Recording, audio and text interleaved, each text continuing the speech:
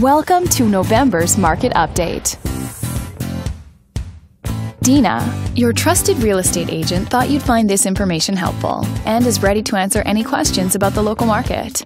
Let's take a look at real estate activity in your area during the month of October. The number of active listings was up 44% from one year earlier and up 18% from the previous month. As you can see, the median listing price for the month was just over $1.45 million. Compared to last year, the average number of days that units spent on the market before being sold was up more than 1,000%. The median sale price was $400,000.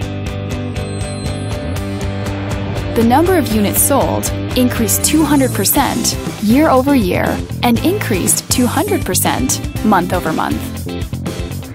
Thanks for watching. We hope you found this video helpful as you gather more information to make smart, informed real estate decisions. If you'd like more information or assistance, please click the button on the screen.